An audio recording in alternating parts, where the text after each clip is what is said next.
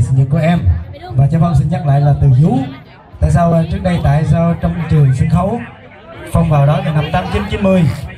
Nên là ai cũng kêu vũ bằng vũ mà vũ phải tự hiểu. Giờ tôi chú chú hiểu ở đây giờ con nói cho mọi người hiểu luôn đi thôi con không nói được trên sân khấu. Là thôi là tại vì ví dụ ai bệnh cũng chạy tới vui không phải gió mình con không phải. Phải. Cũng có nhưng mà có cái điều khác nó mới giá trị hơn chứ phong xin cảm ơn.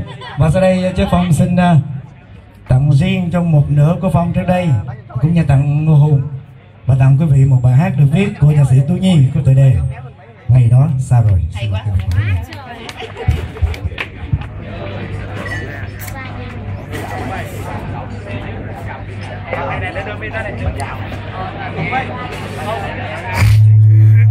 Con quay cho bật cái mi